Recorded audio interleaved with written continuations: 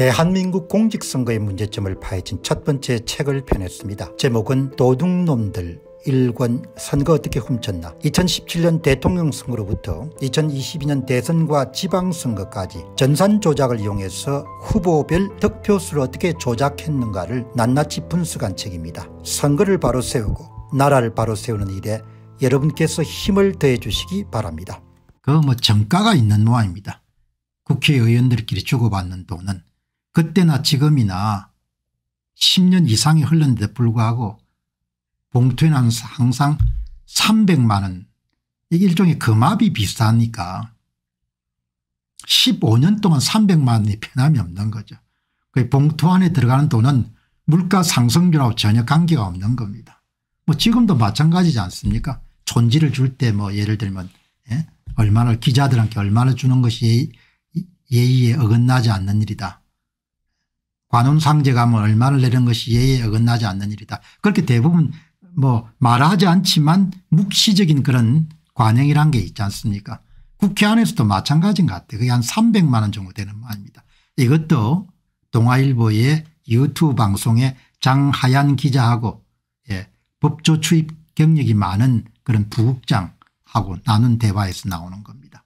2008년도 한나라당 전당대 때 돈 봉투를 돌린 사건이 이름 밝혀져 가지고 몇 년 뒤에 벌컥 뒤집힌 적이 있었죠. 예.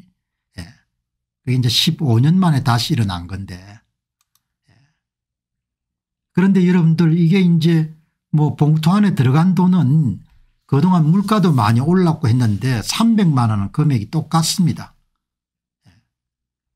예. 이 정원숙 부국장이 저는 이게 좀 신기한데 어떻게 의원들한테 넣는 돈이 300만 원으로 뭐가 정가제 같이 그렇게 꼭 같습니까 예, 물가가 아무리 올라도 기자들한테 돌리는 촌지도 여러분들 액수가 별로 변함이 없지 않습니까 예.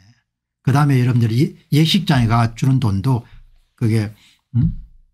변함이 별로 없지 않습니까 봉투 안에 들어간 돈이 15년이 지난 데서 300만 원인 겁니다. 화폐 가치는 많이 떨어졌죠. 그 아마 의원급에는 300만 원을 주고 그 밑에 거면 한 50만 원을 주고 그렇게 하는 모양입니다. 당협 위원장이나 이런 분들. 이게 뭐 정감 모양입니다. 장하얀 기자가 잘 지적하네요. 뭔가 주고받는데 암묵적인 룰 같은 게 있는 거 아닙니까 그 정원숙 부국장이 말씀하신 것처럼 뭔가 아는 사람들만 아는 뭔가 엄성적인 돈봉투 전달 관행이 있었던 거 아닌가라는 강한 의심이 듭니다. 기자분도 뭐 이렇게 내놓고 그냥 그 이거를 자기 주장을 펼칠 수가 없으니까 정가가 있다는 거죠. 주고받는데 최소한 의원급 국회의원들에 대해서는 300만 원 정도는 집어넣어야 된다는 뭐 그런 그런 게 있는 모양입니다. 한 구독자분께서 물가 상승분은 반영이 안 됐네요. 15년 전에 2008년도 한나라당 전당대회나 2021년도 더불어민주당 전당대회나 봉투 안에 들어간 돈은 300만 원이니까 예. 어떻게 물가 수준이 반영이 안 됩니까 예. 이 부국장 되시는 분이 저는 정확하게 잘 모르겠습니다.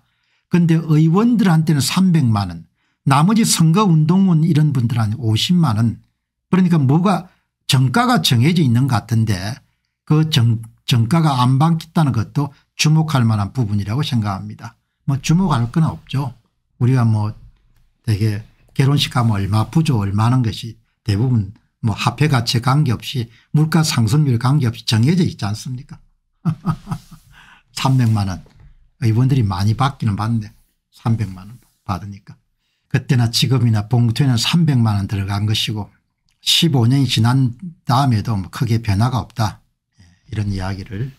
아무튼 송영길 전당대표가 참 곤혹스러운 상황에 놓인 것은 사실인데 반대편은 돈을 안 돌렸을지도 모르겠죠.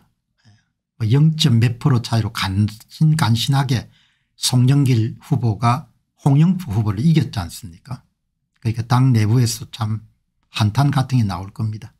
결국 저렇게 가지고 성부를 뒤집었구나 이렇게 이야기가 나오겠죠. 2020년도 4.15 총선의 실상을 철저하게 분석한 도둑놈들 사권이 출간되었습니다. 여러분께서 구매해 주시고 널리 퍼뜨려 주시기 바랍니다. 선거를 바로 세우고 나라를 바로 세우는 정의로운 길에 여러분께서 적극 힘을 더해 주시기 바랍니다. 감사합니다.